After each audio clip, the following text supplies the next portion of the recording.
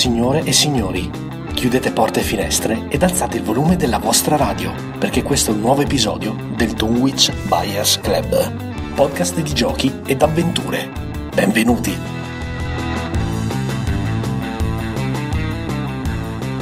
Eccoci qua e benvenuti a un nuovo episodio del Dunwich Buyers Club, podcast di giochi e avventure che ogni settimana porta a casa vostra il meglio dei giochi da tavolo e dei giochi di ruolo. Io sono Jack e come sempre sono in compagnia di Banda, Ciao ragazzi! di Mac Benvenuti giovedì! e del buon capitano Rubbo. Ciao ragazzi. Che questa, che questa settimana non farà il capitano Rubo, stranamente. Esatto. È vero, eh, infatti questa settimana gioco retail. No, Per- in realtà no. eh, per i quattro che leggono le descrizioni dei nostri episodi sapete di cosa sto parlando. Bene, Non sapete cosa vi perdete comunque perché nelle ultime settimane Jack ha veramente superato se stesso, posso dire. Allora, ragazzi, a- a- a- al di là di queste facezie, devo dire la verità, siamo ini- abbiamo iniziato eh, questa settimana con una brutta notizia, cioè dovevamo fare la BGG Top 50, purtroppo per problemi tecnici eh, non è stato possibile farla. Ho Ma anche, non ho- nostri Ho anche tecnici, scritto eh. all'autrice della BGG Top 50, mi ha scritto che purtroppo per problemi, per problemi appunto tecnologici eh, la eh, classifica non è pronta in tempo, quindi paura di niente di nessuno,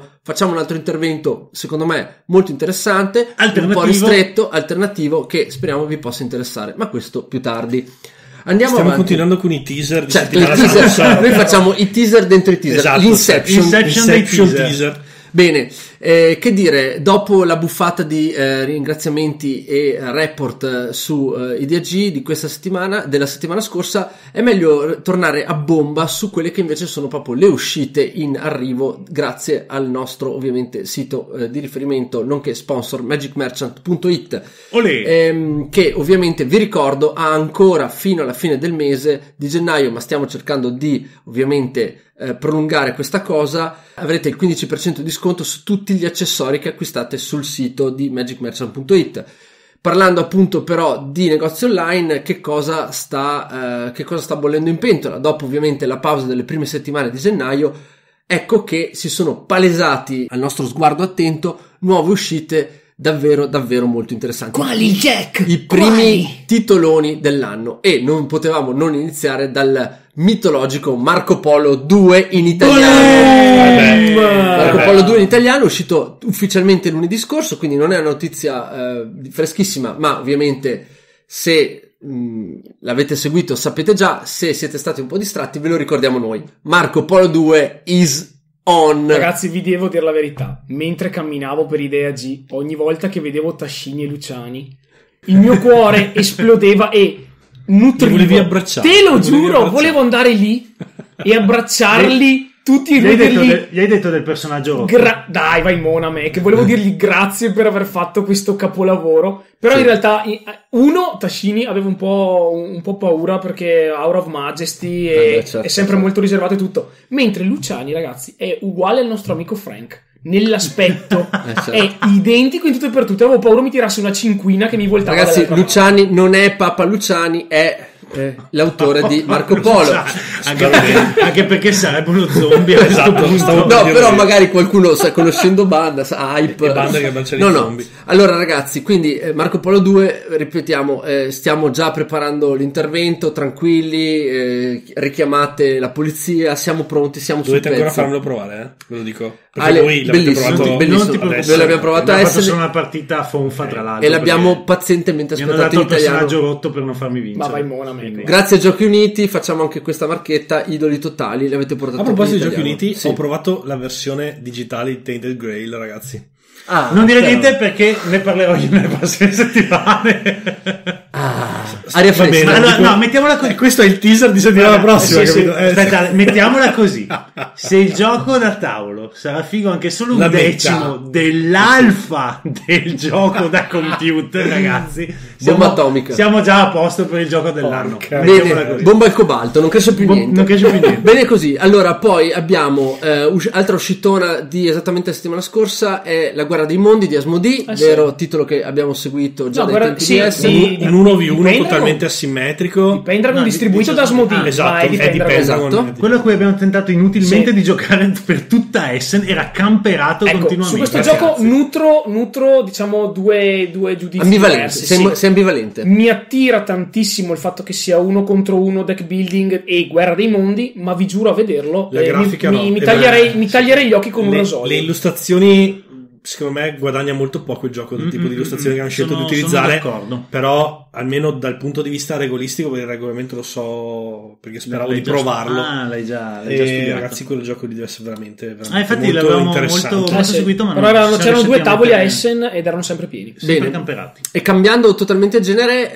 eh, sempre ehm, qualche giorno fa eh, sono usciti tre personaggi extra, ovviamente per Marvel Champions, ragazzi. Olè! Che io ho scritto al dottor Merchant e Eh, probabilmente quando, quando, uscirà, no, no, quando uscirà la, la- la puntata, molto probabilmente li avrò. Esatto.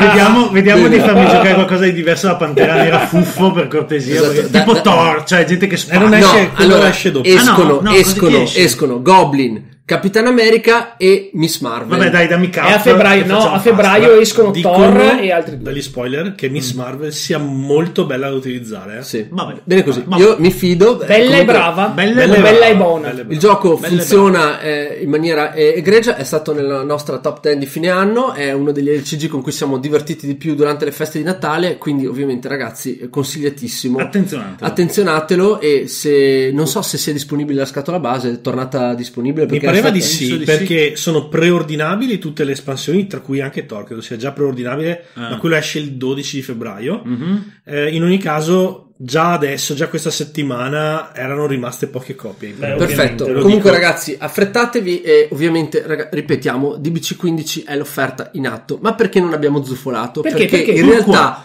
lo sponsor ufficiale di questa settimana, per la seconda settimana, Ah. se- seconda e ultima settimana, non è niente proprio di meno che Gem, i tavoli per board game e accessori di qualità sempre relativi al board game. Quindi Zufolo alternativo e poi andiamo a spiegare per chi se lo fosse perso la settimana scorsa in cosa consiste questa promozione. Zufolo alternativo.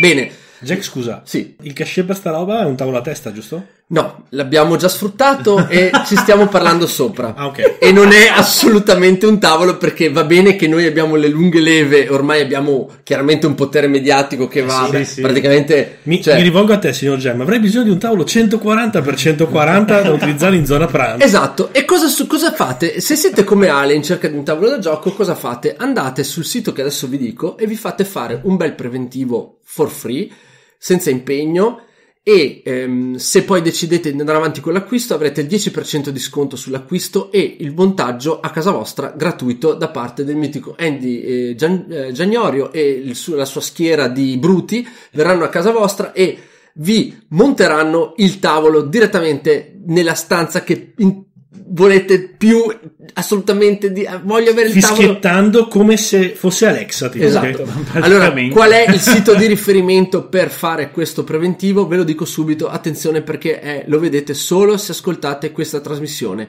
Il sito è dbc10.mobili trattino del meno gem gem.com. Ripeto, dbc10.mobili-gem.com. Ovviamente gem, ragazzi, lo spelling è G-E-M, ok? Eh, G di Genova e di Empoli, M di Modena e quindi ragazzi andate a farvi una visita a questa pagina in cui potete dare un'occhiata ovviamente ai componenti del, del tavolo e eh, farvi un'idea e cercare di iniziare magari un percorso di come dire acquisto che nel caso dei tavoli da gioco di Gem non è proprio banale perché ci sono molte, molte possibilità di personalizzazione, i pacchetti non sono chiusi, i tavoli sono fatti artigianalmente secondo quelli che sono i vostri gusti e le vostre esigenze e quindi ovviamente è più che altro una consulenza che si inizia a fare eh, e che sfocia dopo, mh, ve lo auguriamo, nell'acquisto di un tavolo da gaming vero e proprio. Quindi ragazzi, Gem dbc.mobili-gem.com andate a vedere questo sito, ve lo consigliamo anche se eh, l'idea è lontana dalle vostre, vostre possibilità o vostre, dei vostri desideri attuali, comunque vale la pena di informarsi e farsi un'idea su quello che vuol dire acquistare un tavolo da gioco. Noi... è il momento di fare il passo oltre al fatto di comprare Kickstarter, non dirlo l'amorosa Compra- ca- cioè, comprate il tavolo nuovo, non dite l'amorosa, ci lo cambiate so- direttamente. Sì, ci mettete la solita tovaglia e fate finta di niente. Se vi dice qualcosa, dite: Ma no, cioè. L'importante è rispettare normale. le misure del precedente Tanto, e sbarazzarsi esatto, in modo furbo. Mettete la, mettete la, tovaglia di quello sì. di prima e le stesse misure e nessuno si accorgerà di nulla. Esatto, tanto que- questi tavoli hanno il mitico effetto moglie, quello che praticamente rende il tavolo da gioco un tavolo assolutamente normale da esatto. pranzo. Di, di fatto, ragazzi, il tavolo è normalissimo. Togliete dei pannelli, si forma questo fantastico pozzetto eh, come dire, eh, foderato. Questo Renato Pozzetto Poi, foderato. Ovviamente, esatto. appena voi estrarrete un cassetto per appoggiarci la birra, qualcuno potrebbe nutrire dei sospetti. Ma per, ma, il, ma, ma per, per il resto, direi sì. che è tutto normale. Benissimo, ragazzi, e con questo abbiamo chiuso anche questa eh, seconda settimana di eh, sponsorship con eh, Gem eh, per i tavoli da gioco. Ricordatevi che la, la, l'offerta è valida fino a mezzanotte di mercoledì prossimo, quindi affrettatevi. Grazie a Gem e andiamo con lo zucchero alternativo di chiusura. Zucchero!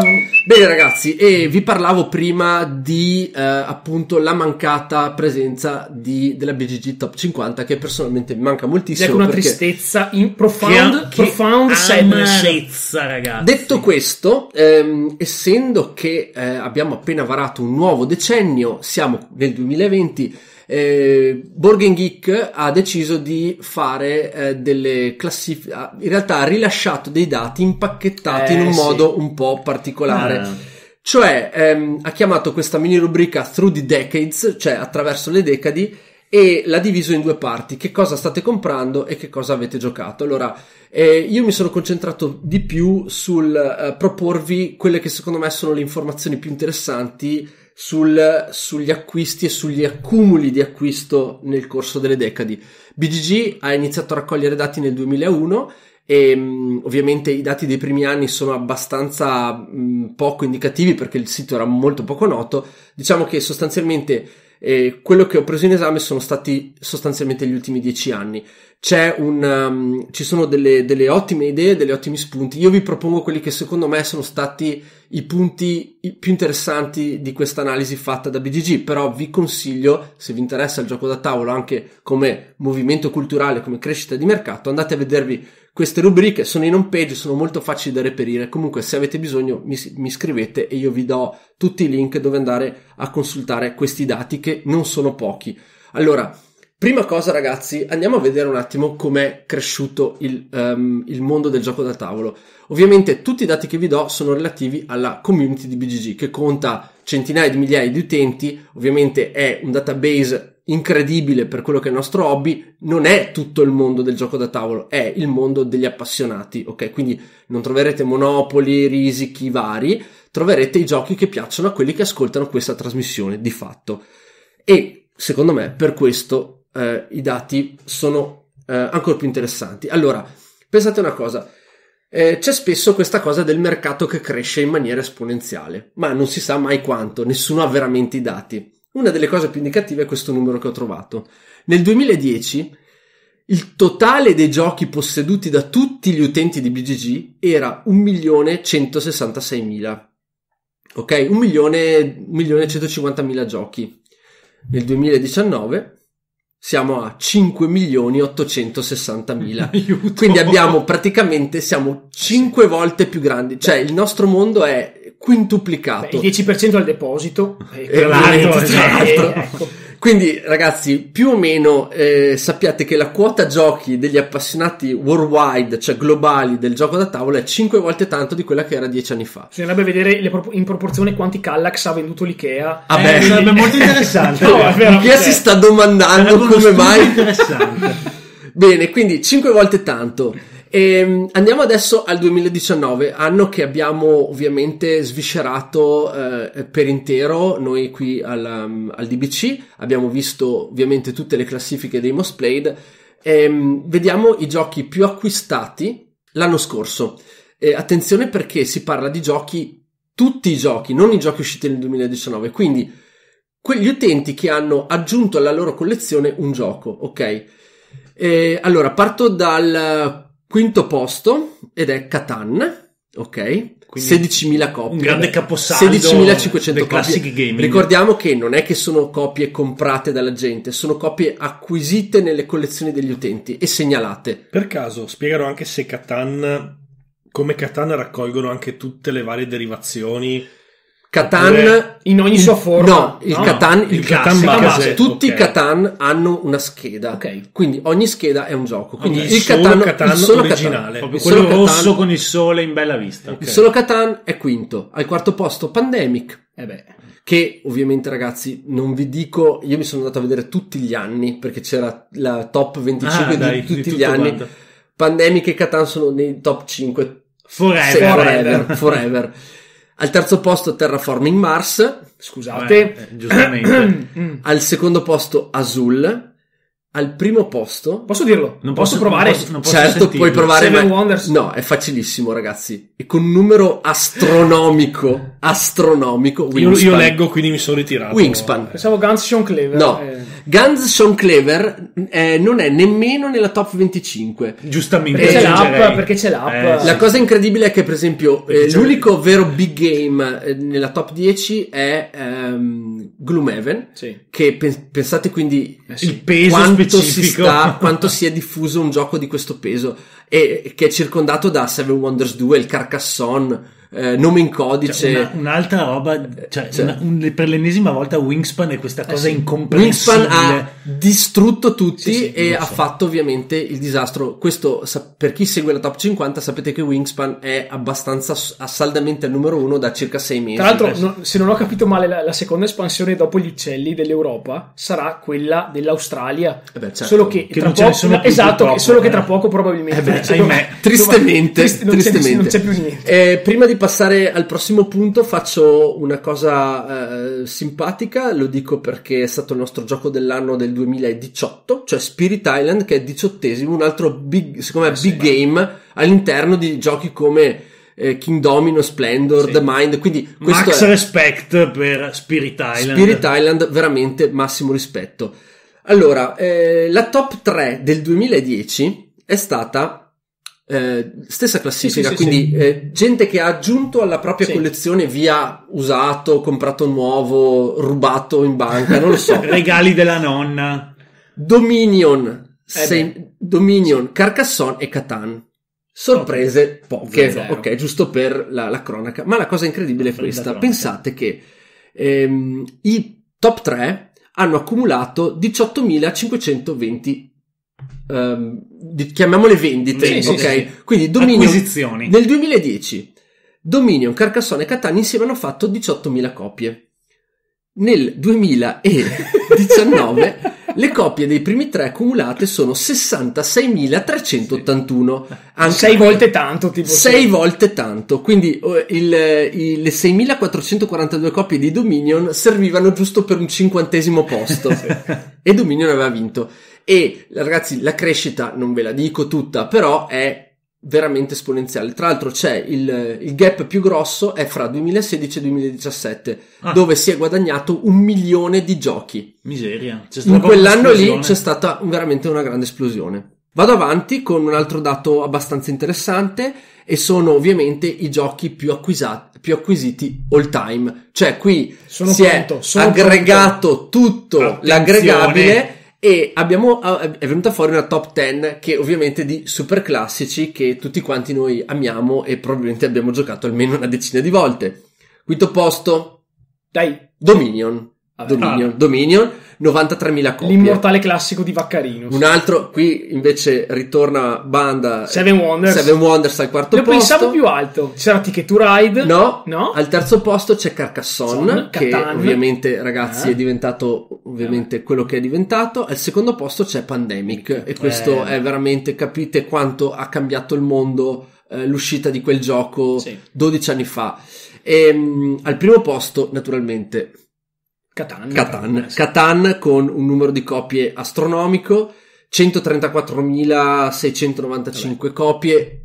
Ricosa- ricordiamo che non sono acquisti, ma sono persone che l'hanno acquisito nella loro, nella loro, ehm, nella loro collezione. Questo per dire per l'ennesima volta che sostanzialmente Catan è il papà del gioco moderno, è il gioco a cui noi dobbiamo il fatto che siamo qui Eh sì. seduti attorno a un tavolo a parlare di giochi da tavolo eh, 25 anni dopo. Original sua- 95, 94-95. Klaus esatto. Teuber, grazie. Ehm, tra l'altro ho acquisito, grazie a mezzi leciti, Il- ah, leciti, no, ah, lecitissimi, eh, il mitico ehm, Noblesse Oblige che è il secondo Ah. gioco più famoso di Klaus Teuber, cioè che non conosce nessuno, conosce ma è nessuno. un gioco a Lea di cui parlerò in futuro. Beh, Noblesse Eh, Oblige mi, mi pare una roba da Duca Conte. Poi No, è, è un gioco, mi hanno detto strano. Ne parlavo con. eh, qual- ne parlavo con qualcuno, non mi ricordo chi, all'associazione, All'associazione, a Vittorio sì, Veneto. E mi ha detto che l'ha provato a una fiera mm, super sconosciuta. Il gioco si chiama Adelverflicht, è un termine tedesco che si può tradurre con Noblesse Oblige. pensavo si traducesse con disagio. e ha detto che è un 9000. gioco stranissimo, un gioco stranissimo, estremamente fuori, fuori di testa. Quindi non vedo l'ora di provarlo. Mm. Bene, Gnam, gnam, poi gnam. andiamo ovviamente sui giochi. Adesso pa- shiftiamo un attimo l'argomento e andiamo su invece i giochi che sono stati messi nelle wishlist I più nel desiderati. 2000 i più desiderati nel 2019, Vo- quelli che sono stati aggiunti nella propria, eh, nella propria mm, lista del vorrei acquistarlo. Ok? La lista dell'hype. Al quinto posto abbiamo, pensate, Gloomhaven, Eh ok? Poi abbiamo Spirit Island, Eh ovviamente Due sono- giochi di BC dell'anno top. Due giochi. Al terzo posto Ma abbiamo. Terraforming Mars. Al Eccolo secondo lì. posto Root, ovviamente anche Eh, qui. sì, E al, primo, al Eh, primo sì. posto, ovviamente con una classic numeri stratosferici. Wingspan. Uccellacci. Wingspan. Wingspan. Wingspan è il gioco che le persone non solo hanno più acquistato, ma hanno anche più messo nella loro. Bene, è giunto il momento ragazzi di odiare ufficialmente Wingspan e chiunque lo sponsorizzi. Beh, Beck, se vuoi metterti, Che, se vuoi che impegnarti. severità improvvisa. Perché? Basta, ha raggiunto il colmo. Non abbiamo- come, Guns N' tra l'altro- come Guns, eh, stessa roba, basta, se ne è parlato troppo, ha sfondato i maroni, quindi direi che posso cominciare la crociata contro Wingspan. Bene. Beh, va bene, allora eh, armati di argomentazioni e settimana prossima vogliamo sentire un bel la rant. cazzo. L'argomentazione è alterigia e supponenza, caro Jack, quindi direi che ci abbiamo tutto. Quindi eh, su queste basi estremamente fragili si fonda, diciamo, il partito anti-Wingspan lanciato dal buon Mac senza alcuna Di ragione. cui lui è l'unico tesserato. Tessera- tra l'altro. tessera numero uno del Uno- partito. Uno su uno, eh, Mac. Bene, Wingspan tra l'altro è un gioco che onestissimo, noi non l'abbiamo, secondo noi non è stato ovviamente una perla così splendente nel, Penso che nel non mondo ho del ancora giocato. Quindi... Però Ale non l'ha ancora giocato, ma va bene così.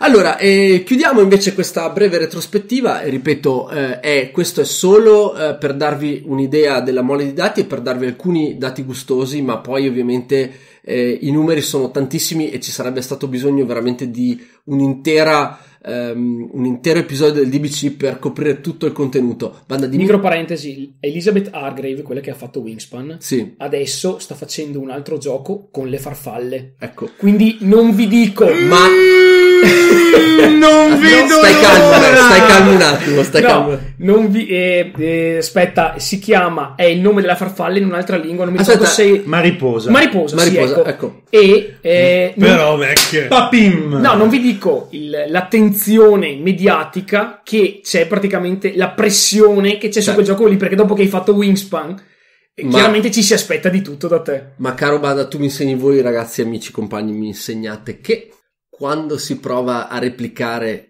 il numero uno, Eh, beh, alla fine è sempre Sì, sì. difficile. Alla fine al posto degli ovetti metterà tipo i bozzoli orrendi. No, ma sarà- delle- è- Metti gli, metti gli aghi per infilzarle nelle Grande vetrine. No, ma, no, ma ragazzi, è completamente diverso Cioè, da sai, sai che cosa mi Eh, ricorda? Entomologia. Mi ricorda quando Azul ha cercato con il secondo Eh, e poi il sì. terzo capitolo di emulare il successo del primo. Purtroppo il primo è Senza ancora tutta di lì. riuscirvi. Come diciamo noi qui, chi prima arriva Meglio in realtà Summer Pavilion eh, È vero, Allora, no, riscuotendo sì, ma non al- buon ma successo, ma non onestamente tanto. ha ricevuto grande successo e pareri di critiche buone, però eh, secondo me a livello più di di, vendita sì, più di Xintra, ma secondo me a livello di vendite col primo non ci sarà mai paragone. Sì, il primo ovviamente sarà Il primo è destinato a dominare. Tra l'altro a Vittorio Veneto è stato molto giocato il nuovo Azul, eh, Esatto. però tutti Summer quanti Pavilion. l'hanno giocato e tutti quanti mi hanno detto bello, godibilissimo, ma quando tu hai in testa, Eh, sì. hai l'esperienza Sì, sì, fatta sì. col primo Azul, fai fatica, cioè lo giochi per, per il piacere di giocarlo perché è- il brand è quello,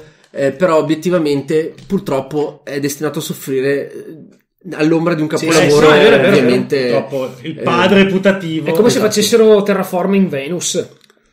Che c'è nell'espansione tra No, l'altro terraforming Venus invece di terraforming Mars. In cui sì ma poi puoi Ok. fare Venere in una delle numerose Sì, beh, espansioni di sì ma, fun- ma non ha una meccanica Ah, ok. come quella del pianeta Cioè, base. Insomma. Devo dire, ecco, comunque, ragazzi, eh, chiudiamo con eh, due, secondo me sono abbastanza chicche. e sono eh, i top eh, pre-order del 2019, Ah. cioè i giochi che sono stati nel corso del 2019 i più preordinati. E- Quindi, escluso Kickstarter. No, no, incluso Inclusi Kickstarter. che anzi sono praticamente sostanzialmente i pre-order vengono Kickstarter. considerati Kickstarter perché di fatto quello è. Allora, al quinto posto Anacrony Fractures of Sì. Time che eh, cos'è l'espansione? peso. Sì, l'espansione di L'espansione di Anacrony è stato il quinto di più. Al quarto posto farà piacere Ale On Mars, Sì, quello di Ah. Lacerda. la Cerda. Al terzo Tra l'altro, posto- ragazzi, molti dicono che sia veramente probabilmente Super il figo, suo sì. top gioco perché è quello un po' più compatto rispetto agli altri. Se non erro, Che è già arrivato. Ale, Sei tu l'esperto. Sta arrivando. Ah, l'ho sta arrivando. Io, io lo Eh, dicevo per ridere, no, ma no, Senti, que- senti questa, al terzo posto c'è Tainted Grail. Eh beh, eh beh. Ok, Follow Avalon, ovviamente ragazzi, siamo Super pronti qua sul pezzo. Al secondo posto c'è Etherfields. Eh beh, Ah, l'altro titolo Ok. è Awaken Realms. Ok. eh. quello coop, no? Eh, sì, quello tipo Kingdom Death sì, la, Death la Monster, gigantesca boss diciamo. fight. Carino, Eh. li ho, li ho tutti. E al, e al primo posto, al primo posto c'è, ovviamente, perché Jack deve essere punito per Root. la- la, la expansion, no, la, la No. grande espansione di Root de, de, eh, di The Underworld. Ah, Underworld. Di Underworld che aggiunge le le, talpe. con le quattro mappe diverse, con le talpe e i corvi. Esatto, quindi ragazzi, per tutti gli amanti di Root, e sono davvero parecchi, ricordatevi che sta per uscire una espansione, un- eh, una big, big box. Eh, big box. Quindi big box vuol dire un'espansione che eh, quasi raddoppia il gioco. Che noi abbiamo preso Ale. Sì, ovvio. Ok, ve la giocate quando sono in ferie. Avevo perso ogni E- l'hai, preso, l'hai preso anche tu, basta. Esatto, Sì, quindi ovviamente abbiamo due membri del DBC che sono uniti alla, alla- Sì, sì. alla leadership di questo gioco che ha fatto, ha fatto più numeri dei due big game del- della Weekend Realms. Ok, però volevo farvi notare una cosa Vai. prima di chiudere. Allora, ho- mi sono preso la libertà di eh, mettere insieme i primi 5 pre-order del 2018. Ok, giusto per far capire un attimo gli altarini. E qui Oh, guardo là. te, Ale. No, non guarda, non spoilerarti. Ma tanto, Al quinto posto c'è Ti- allora, Tidal Blades, Sì, sì, ok. Arriverà. che non è ancora fuori, No. pre-order Ah, 2018. Tidal Blades, è vero, Sì, sì. Aspetta, quarto posto, Nemesis. Basta! Dai, Lo però. faccio perché deve venire fuori una volta a settimana. Forse Beh, arriverà. Una tortura. E qui- Sì, arriverà prima. Allora, un secondo, print, sai Ale? Bene, e al terzo posto c'è Unbroken, una ferita ancora Vabbè, aperta. mamma mia, Sì, ma- una ferita fra- aperta e suppurante. Fra otto anni la ferita sarà ancora aperta perché non arriverà mai Sì, questo gioco. A proposito Ok, di... cioè, Ho contato Ale è livido. Ho contato fino a 10 per non bestemmiare.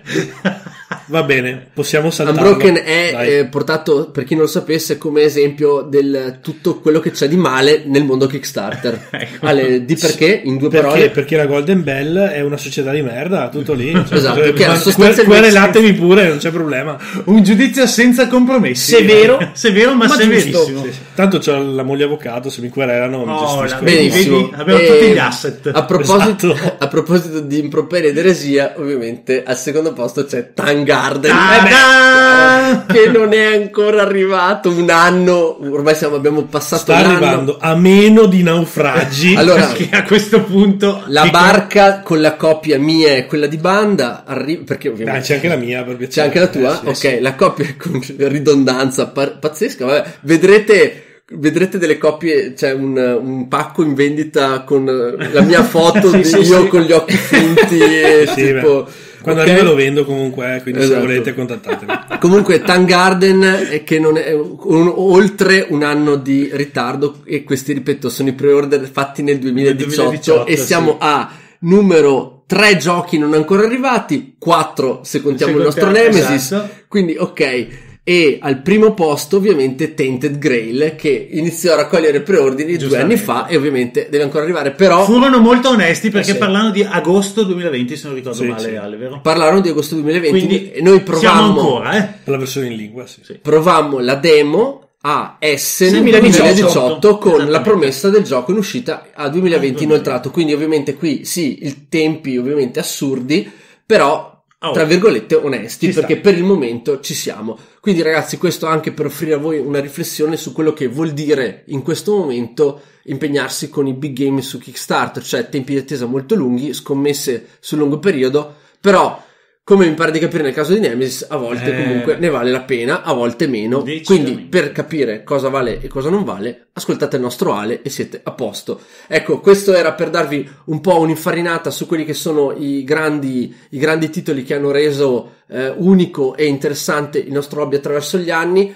Ripeto, non mi sono tanto dilungato su tante classifiche perché i giochi sono ultra noti, ovviamente questi numeri Sì, non beh, possono che offrire... Ne, ne abbiamo trattati il 90%. Esatto, quindi... non, po- non- non possono che offrire titoli stra ultra noti, per quello non sono andato a darvi proprio tutte le classifichine una per una, perché per chi mastica un po' sono tutti titoli un po' già visti. Ecco, per chi invece di voi fosse agli inizi, io consiglio di andare a vedere questa classifica. Se avete, ripeto, dei dubbi e domande, scrivetemi, io vi rispondo. Se, se state iniziando, che, che con i primi titoli di solito, non so, si porta a casa un carcassonne Quindi, per vedere. quindi se stavo per cominciare posso fare il preordine di Tainted Grail. Non ho mai giocato ai giochi da tavolo. Sconsiglierei la Posso, posso partire con un Tainted Grail fast? Sai l'inglese? Perché no?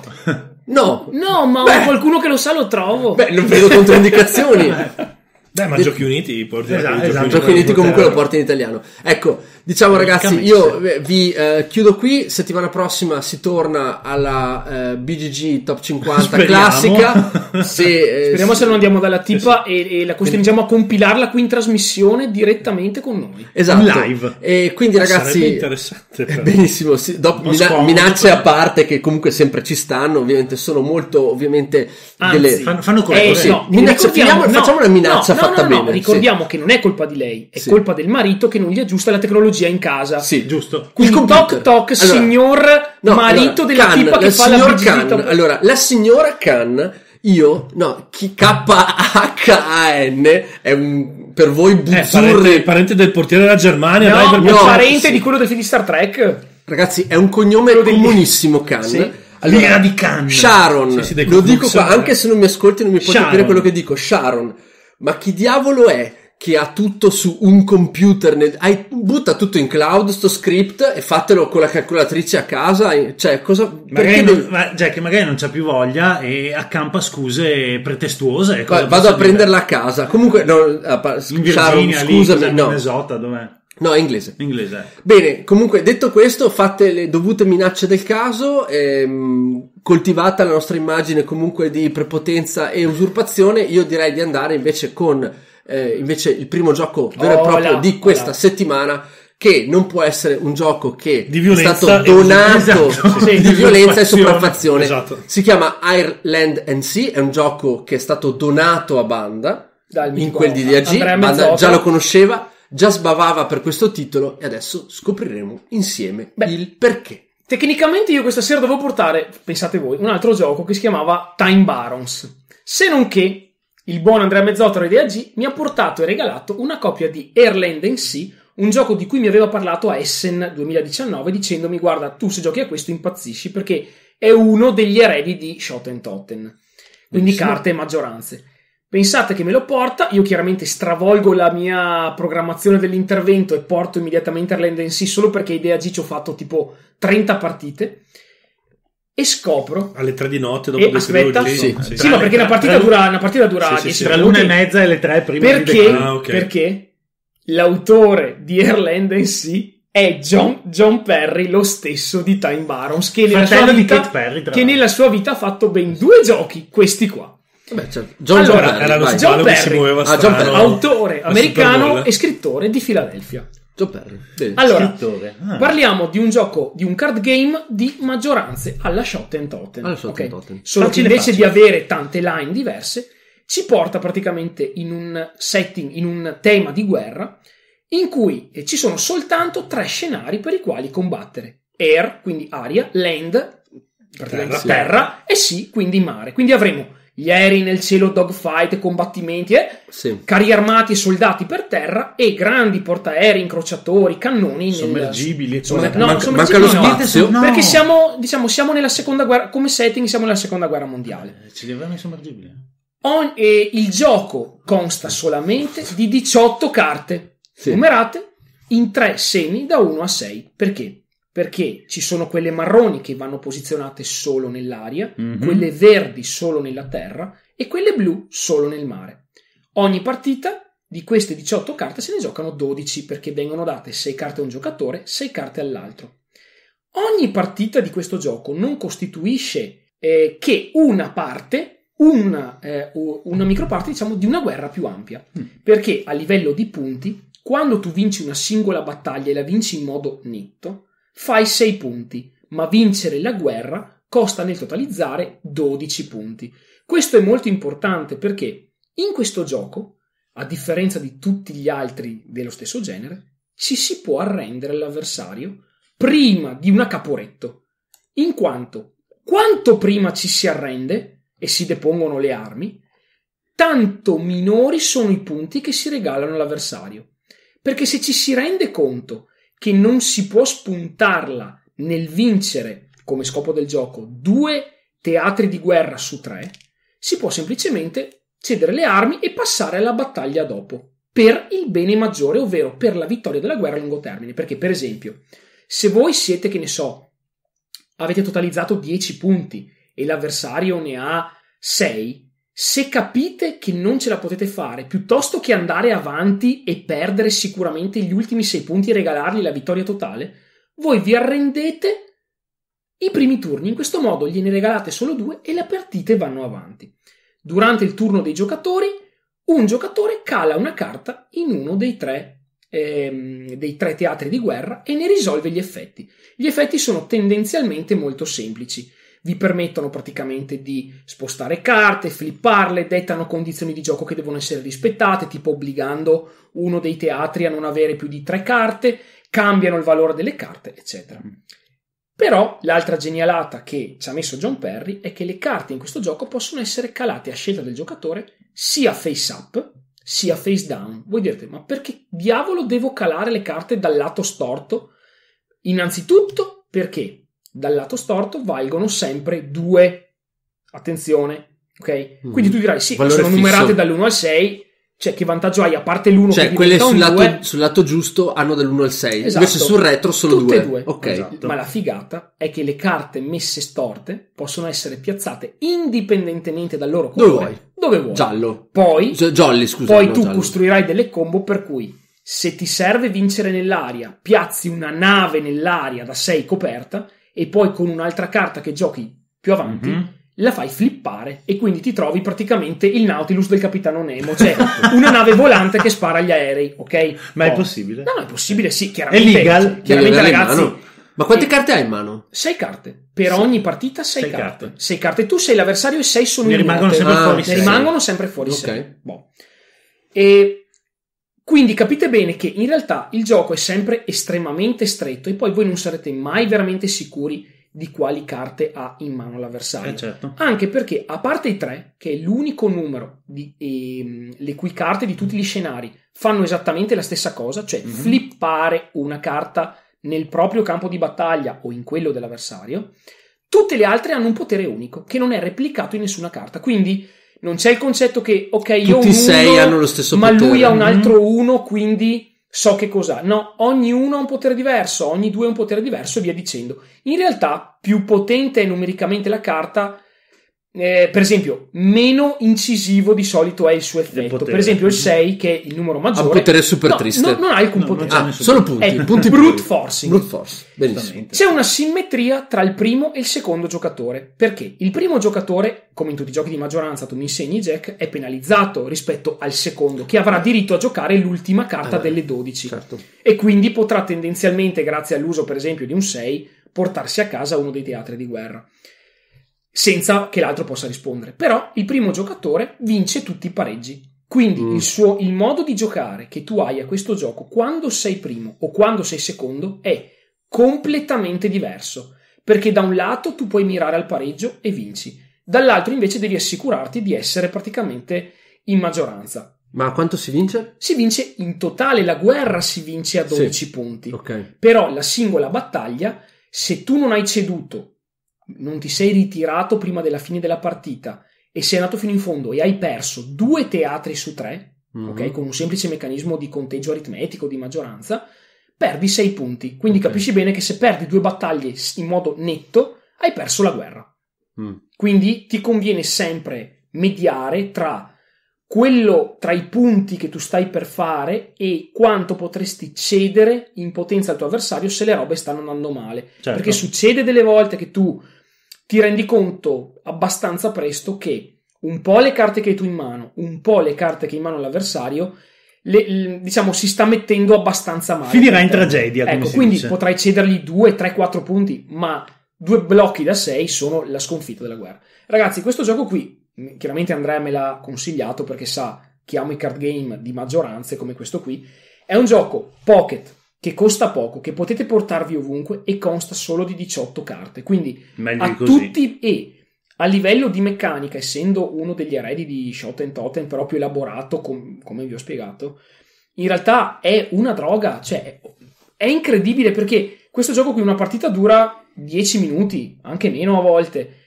tra giocatori esperti, però non otterrete mai due volte la stessa partita e le considerazioni che fate variano match per match anche perché terminata la prima, la prima piccola battaglia, gli scenari si scambiano di posto, quindi il mare passa per primo, l'aria in mezzo e la terra a, A destra. destra. E continuano a cambiare Certo. a ogni partita. Questo perché le carte sono concepite sempre per eh, avere effetto sui teatri vicini. Quindi Ok. anche il fatto che gli scenari ruotino con una semplice con un semplice spostamento Sì, di una sì, sì, carta, in realtà cambia proprio la partita che tu fai. Quindi metteteci che ci sono 12 carte su un pool di 18 ogni partita. Metteteci che ogni carta è asimmetrica rispetto a tutte le altre, che ci sono tre teatri diversi e quanto cambia tra primo e secondo giocatore. Ragazzi, questo gioco qui è veramente una perla, sono sincero. Ok. Cioè, ha tutti, tutti i lati positivi di un prodotto di carte compatto e moderno. E mh, chiaramente, vabbè, il, il- il il setting, come si può dire, il tema scelto è appiccicato perché, è, intendo dire, però Se non si sente tanto No, la non guerra. Si sente tanto in un, gioco di, in un gioco di questo genere qui la guerra, però ragazzi a livello di decisioni, a livello di bluff, a livello io so che tu potresti avere quella carta, allora Sì. metto questo qua, mi- me la gioco con questo timing, ma tu sei ultimo, quindi poi alla fine avrai la bomba da 6 eccetera. In realtà è una figata incredibile anche perché tu puoi mettere delle, per esempio, il fatto di metterti un 6 coperto da qualche parte Mhm. e poi rigirarlo a metà partita Sì. Beh, è in realtà dadito al fatto che finché la carta è coperta il tuo avversario non sa che cos'è, Certo. quindi tu gli neghi delle informazioni. Poi va detto che, per esempio, quando tu cali le carte, l'ultima carta che cali sovrascrive le precedenti, cioè tu non puoi mai flippare una carta che non è la prima dello stack Certo. nel relativo campo di battaglia. Però gli effetti ongoing delle carte, gli effetti permanenti delle carte durano forever, cioè quando uno ti gioca il- l'embargo, l'embargo dice che in tutti i teatri vicini all'embargo nessuno può schierare più di tre carte totali. mhm. Quindi se tu lo giochi nel momento in cui tu hai due carte sulla terra e l'avversario ne ha una, capite bene che in quel momento l'avversario non può più giocare carte in quel teatro. E quindi Mm. tendenzialmente voi ve lo state per portare a casa, quindi lui dovrà adattarsi in corsa e ri- correre ai ripari investendo sugli altri due. Perché Certo. comunque il fatto che lui non possa più mettere carte lì gli dà più proiettili Sì. da spendere negli altri due. Eh, Cioè, allora, posto che c'è la foto di tutte le carte su Game Geek, Sì. volevo eh, sapere da te, Banda, però ovviamente la questione linguistica, quanto, eh, perché ovviamente il gioco è solo in inglese, quanto testo c'è, Guardate come- ragazzi, come posso va, dirvi insomma. che il, il gioco è praticamente indipendente dalla lingua in quanto diver- allora, le carte f- eh, gi- eh, face down non hanno testo, hanno solo il titolo del gioco. Le carte face up hanno un testo elementare, tipo più tre forza ai teatri vicini, oppure gira una carta tua o dell'avversario, cose del genere, oppure sposta una carta.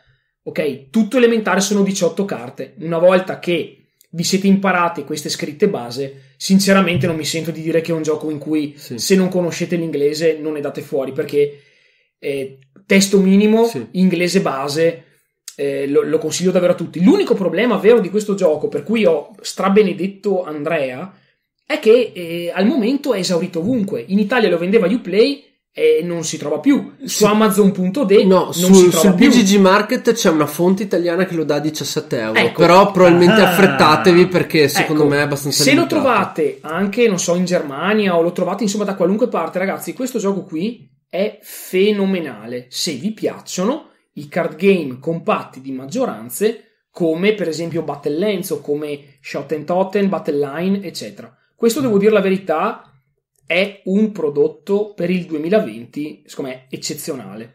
Benissimo, grazie Banda per questa bellissima overview di un gioco molto compatto ma molto molto valido e che costa davvero poco se riuscite a trovarlo, così non ci potete accusare che vi facciamo spendere troppi soldi, anche perché anche settimana scorsa vi abbiamo dato comunque un'idea carina che secondo me costava davvero abbastanza poco, mentre non è il caso ovviamente per il ehm, gioco che sta per eh, trattare Mac. In via del tutto eccezionale, Mac parlerà di un Kickstarter, parla lui perché aveva la versione ha tuttavia Oh, la versione originale di questo gioco e mi deve spiegare perché non dovrei fare il Brutal Warlord in questo gioco Mac, perché è l'unica ragione per cui vorrei giocare a questo gioco che ovviamente st- stiamo parlando ragazzi l'avete già capito Return of the Dark Tower un prodotto eh, Kickstarter super sulla cresta dell'onda con autori fenomenali che, lo stanno, Eh. che stanno curando la riedizione di un vecchio classico ehm, della se non sbaglio MB Yes. della MB Giochi, un gioco che se vi andate a riascoltare il nostro vecchio classificone con i migliori giochi della nostra infanzia MB, eh, è stato tirato fuori in tempi non sospetti e che adesso torna sulla bocca di tutti grazie a una riedizione ultra mega deluxe, naturalmente su Kickstarter. Esatto, caro Vai, vai, vai! Allora, Return to Dark Tower è ben più in realtà di una riedizione, caro Jack, perché eh, come è già successo nel precedente titolo vintage riesumato dalla Restoration Games, eh, si tratta di un vero e proprio sequel e questa cosa ehm, è stata molto eh, stressata anche in campagna Anche dagli autori, eh, nel molto dibattuta, esatto, perché eh, ovviamente rispetto al, appunto all'isola di fuoco Fireball Island, ehm, Dark- Return to Dark Tower presentava sicuramente un impegno maggiore, se non altro perché il suo eh, elemento portante, come nella vecchia versione, è e sarà la mitica torre nera che cappeggia al centro del, del tabellone. Da qui il nome. Da cui il nome, giustamente. E, mh, in- però, fin dalle prime battute, fin proprio dalle prime righe della campagna Kickstarter, si capisce che eh, il gioco va in una direzione diversa. Essendo i due autori principali, un certo signor Rob Davio e un altro certo signore Isaac Childress, è giusto aspettarsi ovviamente un titolo totalmente cooperativo, cosa che il, il precedente del 1981 Non era. non era assolutamente, era un, anzi un competitivo anche piuttosto feroce.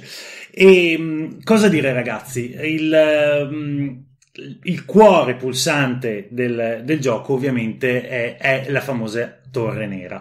E parto da questa perché è veramente un, um, una cosa che ha molto diviso la, la, E poi la è il- critica è il gimmick stesso. ed è il gimmick su cui si fonda eh, il gioco. Ovviamente i due autori, che sono due autori veramente di livello, eh, hanno capito subito che non potevano semplicemente adagiarsi su quella che era la eh, memoria di chi lo ha giocato negli anni Ottanta. Anche perché a livello E- di gameplay era veramente tagliata con l'accetta. la veramente torre. Sì, sì, sì, tra l'altro era iper, il gioco era iper random ed era una delle cose che lo rendeva anche abbastanza frustrante in, alcuni, in alcune partite.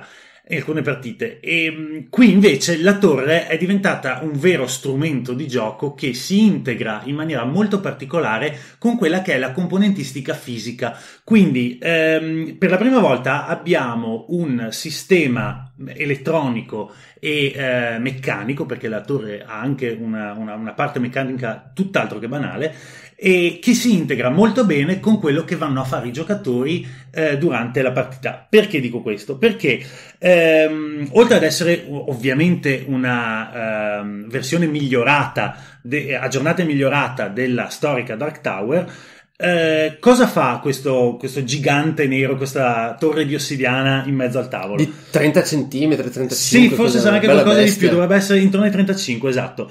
In combinazione con l'app che è stata sviluppata appositamente per questa edizione del gioco, gestisce tutti gli eventi, i mostri e le varie avversità che gli eroi eh, do- dovranno fronteggiare durante la partita. E mh, gestisce questi, tutti questi elementi però in un modo particolare perché grazie a una serie di sensori e alla connessione Bluetooth ehm, all'app permetterà un eh, autolivellamento all'interno del gioco in cui sostanzialmente l'esperienza di gioco si ehm, andrà a mh, plasmare su quello che fanno i giocatori, cioè ogni partita la tipologia dei mostri e delle, delle avversità che si trovano a fronteggiare i partecipanti eh, innanzitutto sarà diversa perché eh, Return to Dark Tower sarà un gioco con degli scenari che mutano ok? Il setup di ogni partita è- sarà anche piuttosto diverso l'una dall'altra per via della combinazione di nemesis, di eh, quest e di nemici che potrete trovare durante le vostre avventure.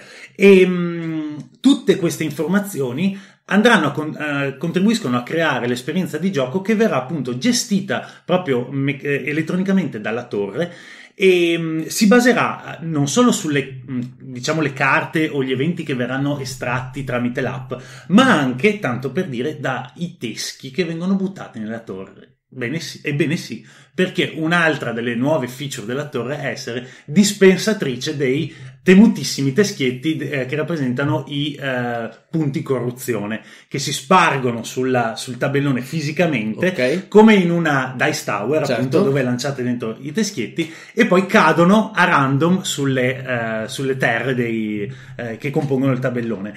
Ovviamente non, non ci si poteva fermare qua. E perché ho detto prima che la torre è anche uno strumento meccanico molto interessante? Perché come la vecchia torre degli anni Ottanta, anche questa ha degli, ha degli elementi che girano al suo interno, ma non un cilindro con delle lucette colorate che eh, illuminano di volta in volta delle simpatiche eh, illustrazioni fantasy. No, ragazzi, qua parliamo di tre sezioni eh, di dimensione crescente, beh, dalla, dalla base verso, eh, dall'alte- dalla, dalla Dall'alto verso la bassa, basso, Tipo il la modulo di uno shuttle. eh. Esatto, e che vanno praticamente a ruotarsi a seconda di come dell'avanzare del gioco e aprono o chiudono tutta una serie di, di cose, tra cui appunto le feritoie da cui escono i teschi. Quindi potrebbe essere che durante il turno di banda noi buttiamo dentro per qualunque motivo 5 teschi. cinque teschi. 5 teschi. Di questi non esce neanche uno.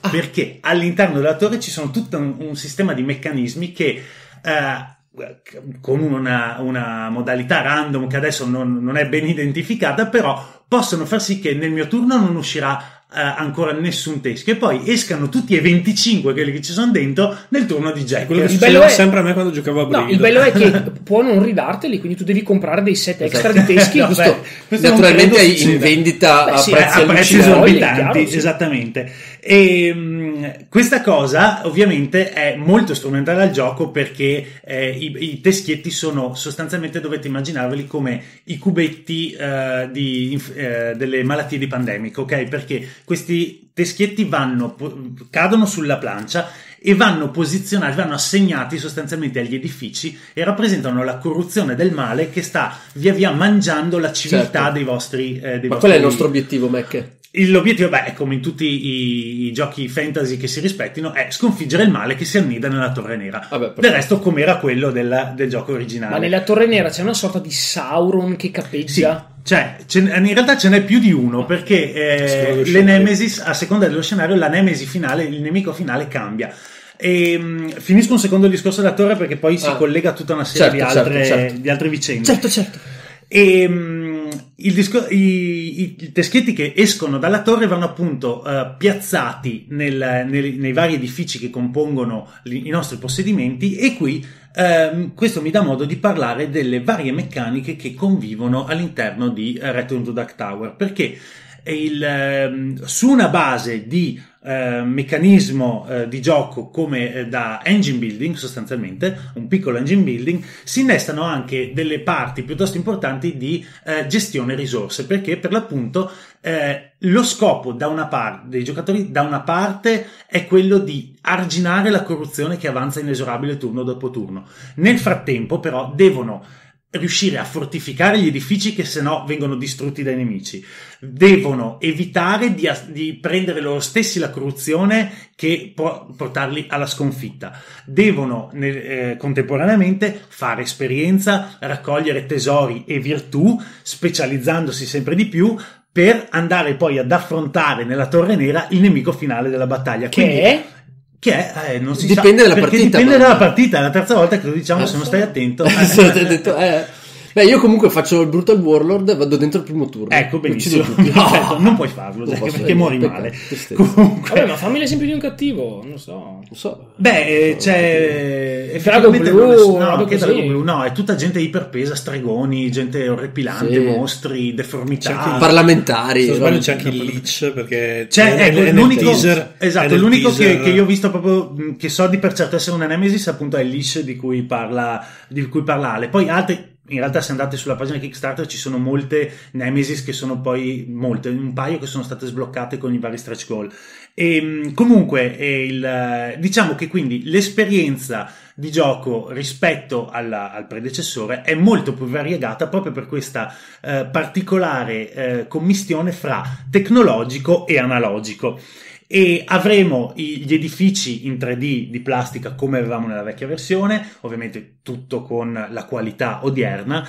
Ehm, avremo mh, mm, molte carte eh, che ehm, ci illustrano i mostri e i nemici che andremo ad affrontare di scenario in scenario. Una delle cose più belle che più mi ha entusiasmato di questo titolo è però la gestione degli eroi, ossia, e, e questo è legato anche alla, alle quest e alle side quest, ossia ogni eroe è, ehm, ha un'abilità, eh, pecul- ha abilità peculiari uniche che lo rendono di diverso dall'altro.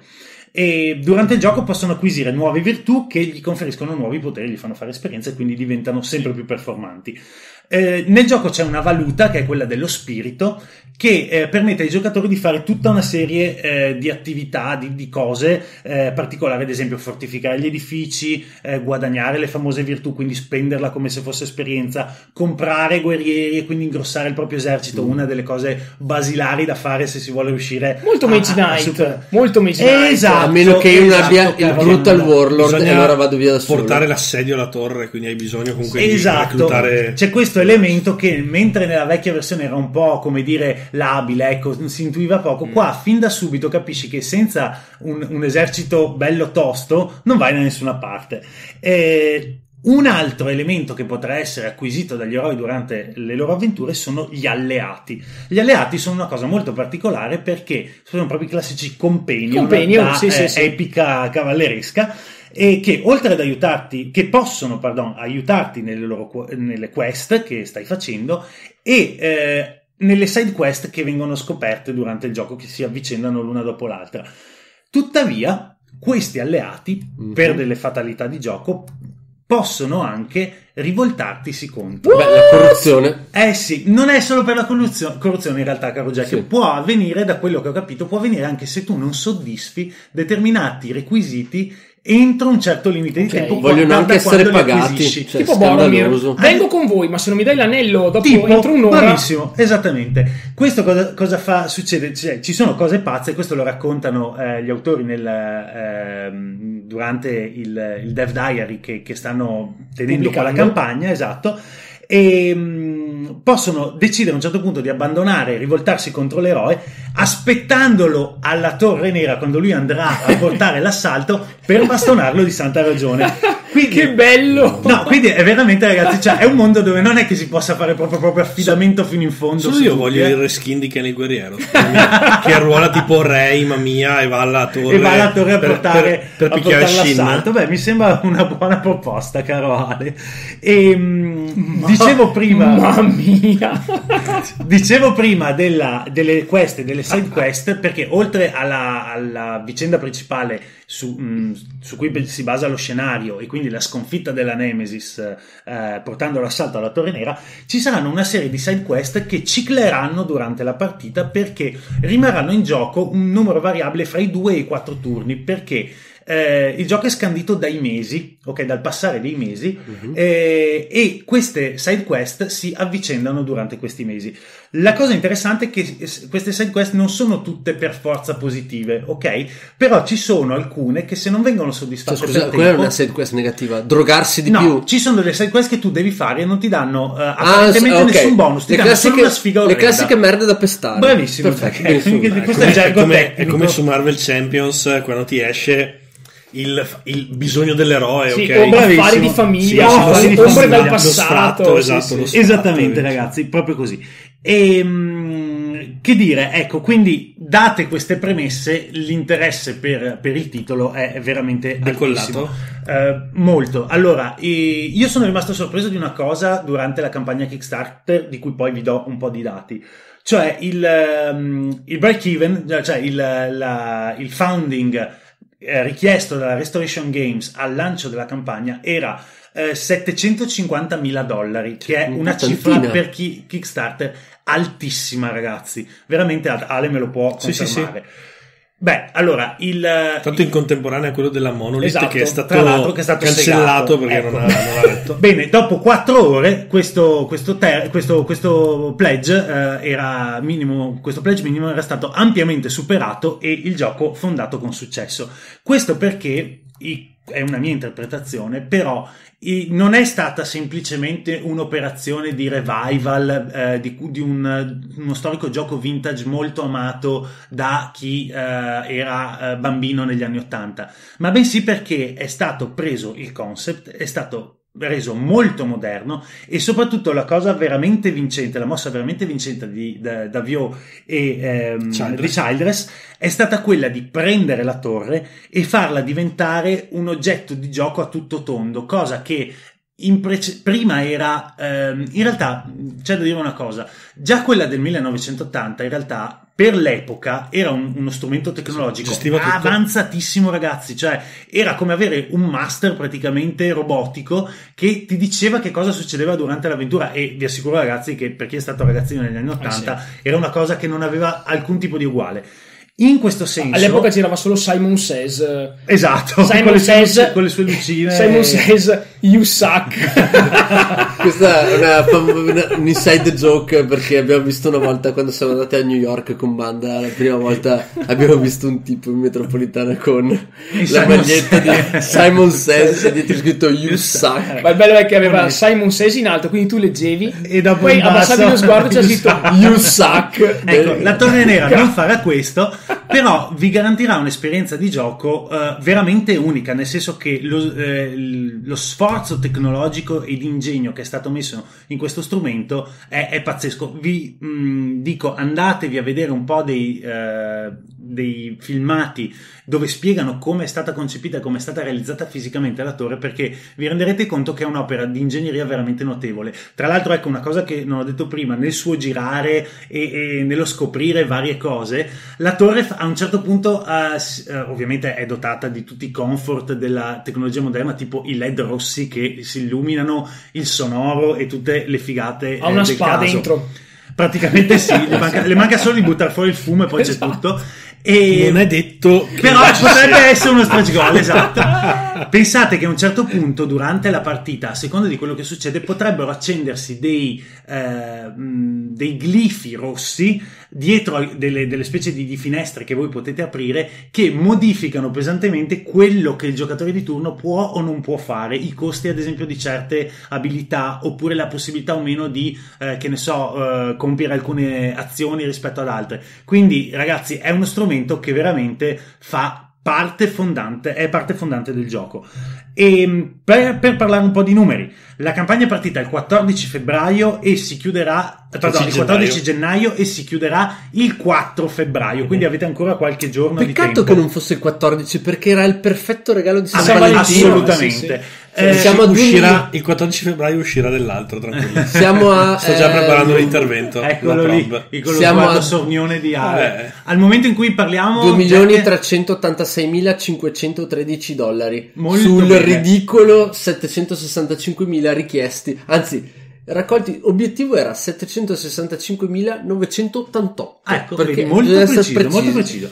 E, beh, c'è da dire che il costo eh, non è esattamente popolarissimo perché abbiamo un pledge base di 125 dollari. Che non farà nessuno. Beh, ma siamo partiti con un gioco da 15 euro. Sì, ma cioè, no, più che altro quello, quello lì, siccome non farà nessuno, faranno tutti l'all-in. Fra- francamente, anche io mi sento di dire è che è assurdo, insensato, è insensato, fare un pledge base insensato. quando quello, av- quello con Il gioco di cui ho parlato settimana scorsa ne costava 90 e non Ecco, aveva la torre con e non ha la torre, eh. esatto. Eh, L'all-in con tutte le espansioni eh, già sbloccate e poi tutti gli stretch goal del caso sono 225 dollari. 203 euro Quindi Beh, eh, Tu scusa quali hai fatto, Mac? cosa? Ma che domande fai, Ale? Grande Mac. Cioè, All in. ti fa- no, tra l'altro, ragazzi, scusate, qui piccola parentesi. Dovete sapere che eh, Dark Tower è stato per, per me e la mia famiglia, perché ci ho giocato tantissimo con mio padre e mio fratello, uno dei giochi più amati in assoluto. Tant'è che, come diceva Jack in apertura di intervento, ne conservo ancora gelosamente una copia miracolosamente funzionante a casa dei miei genitori. Tra l'altro, l'abbiamo vista e l'abbiamo messa in Sì. funzione un paio di Natali fa. Quando O magari questo è me. quello che gli dicono i suoi genitori No, da, no, da quando aveva è 12 vista- anni. Poi in realtà. ed è- Sicuro ed è che conformato. era suo che- padre che faceva eh, eh. Sicuro che Rec non ne voglio una copia? Chiedo, eh. Chiedo. Ma allora, eh, beh, Re- Rec è il padre di Mac. posso, posso sempre cedergli la mia volendo, eh, perché amore di figlio proprio Ovviamente no. a 400 dollari. Ovviamente Ah, ok, s- sì, sotto beh. adeguato compenso. Sì, Comunque, beh. ragazzi, la consegna di questo Kickstarter è segnata per febbraio del 2021, quindi fra un anno esatto. E data la, ehm, però la precisione, capodanno Sì, giusto, giusto per il capodanno cinese, sì. Però, se dobbiamo basarci su quello che è stato Fireball Island Curse of Vulcar, eh, che è stato consegnato, mi pare, con solo 15 giorni di, di Sì, la restoration ritardo, effettivamente Possiamo, tra l'altro, pardon, scusate, ulteriore inciso, questo è un gioco su cui gli, eh, gli autori e la Restoration Game lavora da più di tre anni, quindi è in sviluppo da molto tempo, questo anche per farvi capire la solidità del sistema. C'è già il, ehm, il rulebook eh, disponibile in inglese sul sito, sul- sulla pagina Kickstarter, io me lo sono guardato, fa venire un sacco di acquolina in, be- in bocca, anche perché eh, ci- la- eh, nel- all'interno del, del gioco ci sono alcune illustrazioni degli stessi autori che hanno lavorato a Unmatched, di cui Banda ha parlato qualche Mamma settimana fa. Quindi, mia! cioè, qualità grafica, ragazzi, over the top. In generale, tutta la grafica è mh, bella, non eccessiva, molto minima, soprattutto per quanto riguarda le icone, eccetera. È veramente anche un bel prodotto esteticamente. Dimmi, Ale. una, una curiosità, tanto perché questo progetto è attivo da tanto tempo. Sì. Se torniamo al 2018, fine del 2018, io avevo fatto un elenco dei Kickstarter più attesi del 2019 e c'erano Aridia, che era dell'autore di Xia, Sì, che non è ancora partito, Non è ancora partito. e partirà a metà di quest'anno, e c'era E il signor Ritorno Sì, ma- Return to Dark alla Tower. Torre Arrivi Vera. a parte con ISS Vanguard in Eh, contemporanea. volete, Non si sa. Non scusate, penso che gli convenga. volete aridire un po'? Allora, vi faccio sentite questa. Allora, il, Vado a ple- casa, il pledge da 125 dollari l'hanno fatto in 3699 persone. Per me- per me dei Il- folli. aspetta, il pledge da 225 l'hanno fatto in 9217. Eccola lì. Anche perché, ragazzi, il, ehm, il contenuto della, della versione all-in aggiunge due nuovi personaggi, eh, una marea di. eh, ci sono le. Miniature gilde, pack. eh, c'è il miniature pack dei cattivi. Token upgradati. Token upgradati, eccetera. Tra l'altro, come. Ci sono i, i teschi in osso proprio. Sì, sì, sì, teschi veri. Sì, sì, teschi veri. ovviamente. Sì, sì, sì. Eh, pre- preso proprio dagli- dalle ossa degli Certo. autori, tra l'altro. Alle fontanelle a Napoli sono andati a prenderli. Uno stupendo, uno stupendo add-on a pagamento, Non purtroppo, eh, ma che non Eh. c'è nella, nella Pledge All-In, è il playmat circolare 80 cm di diametro. Quindi anche loro sulla pagina Kickstarter scrivono bene: controllate di avere un tavolo abbastanza grande Col- per farci col tavolo gem tutto. ce la facciamo. Con noi, infatti, stavo appunto guardando Ragazzi, prima. il tavolo Gem non teme questo Beh. problema perché è 120 x 180. A parte, Quindi a parte top, la, torre, la torre da 30 cm, quella non può essere settappata sotto il tavolo. Non posso tappare banda perché è alta come lui. Tra Esatto. Eh Bene. no, eh no, O esatto. Bene. io o la torre. Esatto. Che dire ragazzi, io eh, allora, visti i nomi coinvolti, eh, visto Scusa, il fatto ragazzi, che Isaac Childers, autore di Gloomhaven numero 1 su BGG, e Rob Davio, autore di Pandemic Legacy numero 2 di BGG. coautore per- di Cthulhu Death May Die, Cioè, giusto per dirvi. eccetera, eccetera, giusto per Ciao, dire, direi, direi ragazzi che perlomeno attenzionatelo. Non ho notizie attualmente di una eh, versione in italiano e quindi non mi sbilancio. Potrebbe essere che magari prima della campagna, però, venga annunciata qualche partnership perché è una cosa stata molto richiesta. E hanno detto gli, mh, eh, i- la Restoration Games ha commentato nel forum di- della pagina Kickstarter nei commenti che eh, ci stanno lavorando ma finché non hanno qualcosa di certo non si sbilanciano Lasciano, aper- me- lasciano aperte le porte. Esatto, teniamo incrociate le dita perché se arriva pure tradotto, ragazzi, siamo La parte, al digitale, la parte digitale è un problema Minimo, sì, sì, sì. Secondo la me se non lo porta po' più- non so chi lo può portare sto qua perché Eh, ha è delle veramente duro. cioè Beh, insomma, Tente Grail Diciamo- ha fatto Giochi Uniti, però effettivamente è un impegno incredibile. È no, ma a livello di produzione sì, questo sì, qua sì, è una sì, roba Bisogna Però, anticipare un po' di Posso soldini. dire, ragazzi, che l'all-in, cioè il pledge all-in, spedito, in- le spedizioni del pledge all-in, che sarà un bel peso Eh perché tra miniature, torre e quant'altro. Prega che non ti sono- facciano la scatola di, di... Di l'isola di fuoco. L'isola di Eh, no, fuoco no, che no, no, praticamente no, la l'hanno guardia detto- si scioglie. Ecco, l'hanno detto, è stata una delle prime cose che hanno domandato vari Return Baker. Hanno chiesto: Ma fa- la scatola farà schifo come quella di Isola Eh, di sì. Fuoco? Loro hanno detto: No, anzi, sarà Di più. premium. farà più schifo no, no. perché noi vogliamo il, il meglio, Il meglio Ci sono- sono- è corrotta la scatola e sarà corrotta dalla Dark Tower ci sono già le, eh, le- le- i fregi in, in- in- in foglia d'oro che, che stanno- sono stati sbloccati come stragicore. Comunque hanno, hanno confermato che sarà molto solida e eh, soprattutto ehm, il fatto che eh, appunto ste benedette spese di spedizione sono 30 dollari per la versione all-in che quindi pesa considerevolmente come, più della come base. Oath. Come Oath, ecco, fatevi, fatevi due conti, vedete dove vi conviene spendere i vostri soldi e poi ringraziateci. Perfetto, grazie Mac, questo è tutto Gra- per Return of the Dark Tower, così, grazie uno dei Mac. giochi più attesi eh, sicuramente. Beh, da me sicuramente. Eh, chiaramente, uno dei giochi anche più discussi, eh, questa è tutta la verità sul gioco, ragazzi ovviamente avete già capito, se avete un po' di esperienza vi siete già intagliati se il gioco vi può piacere o no. Mentre adesso parliamo invece di un gioco che abbiamo giocato qui al DBC, l'abbiamo giocato insieme. Un Siamo- gioco che insieme a Nimos War mi ha accompagnato in queste solitarie serate invernali. Un gioco che avevi anticipato mesi e mesi fa in uno dei tuoi Kickstarter preview, l'abbiamo preso a Essen, come forse qualcuno di voi si ricorderà, è stato anche il nostro regalo di compleanno, Compleanno. Eh, sì. per Ale con la dedica di eh, Vincent Vincent Dutré. Dutré. Eh, Dutré. Dutré. Ho detto Dutré. Hai detto Durte, veramente. Ma ho detto Bravo. Dutré. Ormai lo dico senza accorgermi. Esatto, comunque Vincent Dutré, automatico. il grande, eh, il grande eh, de- graphic designer che ha illustrato splendidamente Atlantis Rising, eh, che è il gioco di questa sera per Ale. Bene ragazzi, Atlantis Rising. Allora, intanto anche questo è un Kickstarter del dicembre 2018, consegnato ai Baker tra l'altro non tanti mesi fa, è arrivato credo un mese prima di Essen, Sì, se sì. non sbaglio, consegnato. Ad Essen ne hanno approfittato per vendere le copie residue della stampa dei Kickstarter Con e soprattutto, e soprattutto la componentistica deluxe della campagna con le risorse quelle un po' più fighe in pezzi di pelle umana e via dicendo. Il playmat. Che però- E- la cosa bella e il è playmat, che viene venduto a soprattutto. parte, quindi se uno parte. vuole- se uno vuole lo può fare, se no non Scelta, importa. secondo me, Anche perché encomiabile. la componentistica di base è comunque molto buona. Non parliamo di cubetti, sono comunque i cristalli, sono effettivamente dei cristalli di plastica, semplicemente quelli dell'edizione deluxe sono semitrasparenti con l'effettino lucido, bla bla bla. Ecco. Allora, Atlantis Rising è un, co- un full cooperativo da 1 a 7 giocatori che riprende il titolo del 2012, l'omonimo titolo del 2012 di Galen Sisel, però all'epoca edito dalla Zeda- Z-Man Games. Mentre invece Z-Man questa- Games, scusa se adesso Games, è il mio turno di correggerti, E, scusa. ehm, e poi è stato rivisitato dalla Elf Creek Games che grazie anche alle illustrazioni di Vincent Dutré hanno prodotto un qualcosa che esteticamente se avete domande andate a vedere la gallery che abbiamo pubblicato settima- un paio di settimane fa Come ha Eh, detto Jack in chat, bisogna dire che Atlantis Rising si fa fotografare. si fa Sì, fotografare decisamente si fa fotografare È un titolo che io ho giocato prevalentemente in modalità solitaria, ma che per fortuna nelle ultime settimane siamo riusciti a intavolare tutti assieme qua al DBC e quindi abbiamo esplorato anche con un counter un po' diverso da quello del 1. Uno. Ecco, cosa dire di questo gioco?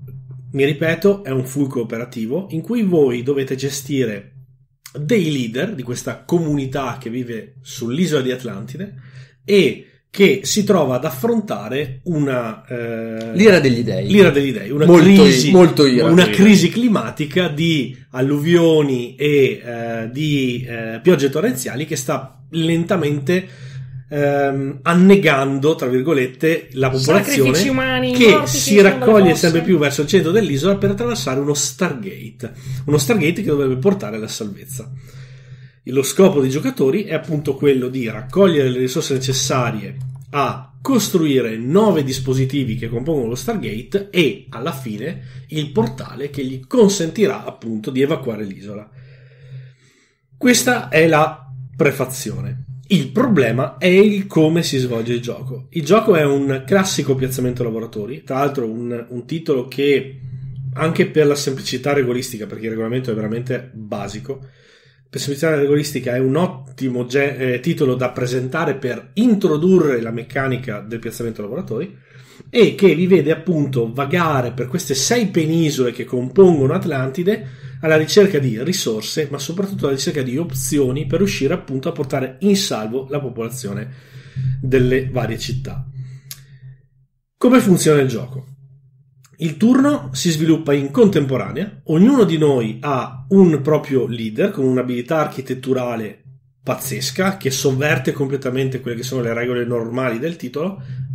Chiamiamo in causa ad esempio il champion che consente di effettuare un'azione prima che la tile su cui si trova venga eh, Inghiottita dalle, dalle acque in maniera super triste. Abbastanza rotto. e posizionandoli in modo più o meno intelligente lungo le taglie che compongono le E penisole più o meno rischioso. e più o meno rischioso, riuscire a completare questi dispositivi.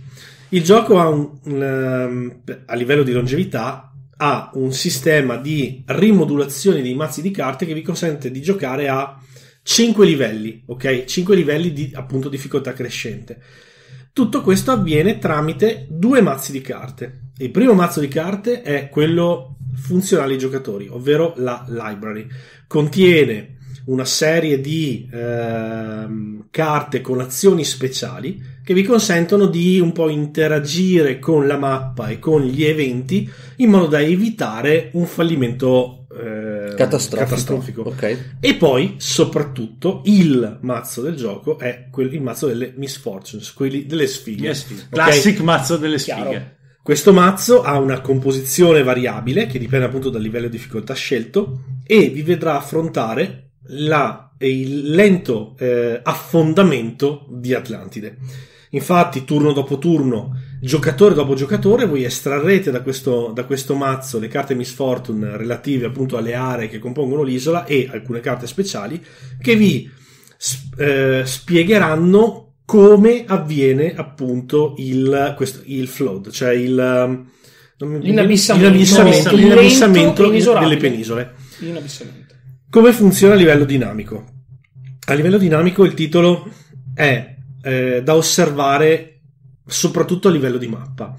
L'isola di Atlantide è formata da sei penisole, tre che sono le Wild Peninsula, cioè le penisole in cui voi potete andare a raccogliere risorse necessarie a costruire gli oggetti, e poi tre penisole invece che sono quelle civilizzate, sono la forgia dove potete appunto andare a estrarre dai minerali il metallo, il, eh, la zona delle città in cui voi potete andare a reclutare nuovi, eh, nuova forza lavoro, Facendo accoppiare. i facendo vostri- accoppiare i vostri Atlantidei e eh, infine il eh, deserto che è dove voi potete andare tra virgolette in eremitaggio per pescare carte A studiare. e soprattutto avere l'opportunità nella library di trovare gli artefatti Eh, già. se ne sono 4 per ogni partita sono sempre diversi sono se non sbaglio 14 e voi ne utilizzate 4 eh, mescolandoli in modo casuale questi artefatti sono eh, carte estremamente potenti che aggiungono un'ulteriore abilità peculiare al vostro personaggio spesso fondamentale per riuscire ad arrivare alla vittoria è un gioco molto complesso da vincere se c'è poca alchimia al tavolo, ma su questo torno dopo anche quando decido di parlare dei principali difetti del gioco. Il titolo in sé ha uno sviluppo molto più rapido di quello che ci si aspetterebbe di trovare, infatti nel giro di un'ora più o meno si riesce a fare una partita a 4 senza grosse difficoltà. In solitario non sono mai andato oltre i 40 minuti, addirittura alcune sono durate solo 5 perché sono morto malissimo. e eh, la cosa particolare sono le differenze rispetto all'edizione originaria. Eh, grazie ai suggerimenti raccolti dal 2012, l'anno di uscita della prima versione, eh, Galen Sisel ha un po' rielaborato il regolamento eliminando alcune delle fasi che rendevano il gioco più tedioso, come eh, l'attacco ateniese, la marina atlantidea e via dicendo. Ha praticamente asciugato un po' il regolamento, il termine asciugato in un gioco di inabissamento, va bene, sempre, sempre, sempre. Eh, ha un po' ripulito eh, il, il, il, gioco per renderlo un pochino più veloce e fruibile e ha introdotto il Wrath of the Gods, cioè questa fase di conclusione del turno in cui l'ira degli dei si scatena sempre più violenta, più tempo voi impiegate per completare l'obiettivo appunto di costruire il, lo Stargate e eh, lo fa semplicemente attraverso il, uh, un'ulteriore difficoltà che è l'inabissamento di una serie di tile dovuto appunto a quest'ira che si scatena sulla, uh, sull'isola. Il modo che hanno i giocatori per vincere si basa essenzialmente nel rischio, sicuramente, cioè nel rischiare, ma con la dovuta tattica, anche con la dovuta strategia in un certo senso, perché c'è una strategia più o meno dominante mm-hmm. che può facilitarvi a seconda della composizione del gruppo. Ecco, che fanno da protagonisti durante tutto l'arco della partita sono i dadi. Infatti è un gioco che di sicuro non può essere tacciato da Eurogame perché la componente aleatoria è fortissima. Quindi la raccolta delle risorse sulle tile è assolutamente dipendente dal tiro di un dado e parliamo di tiri che hanno una media del 5 per essere portati a termine. Infatti, a parte eh, l'isola, quella del minerale, che ha un successo un po' più elevato, perché primiss- nella primissima tale mi pare che sia successo dal 2 o più, nelle tali invece del, del, dell'oro, eh, e, del dell'oro e del, del cristallo, già da subito cominciate ad avere necessità di tirare il 5, a volte anche il 6. Per mitigare l'aleatorietà del gioco c'è la, eh, un'ulteriore risorsa che è il potere mistico.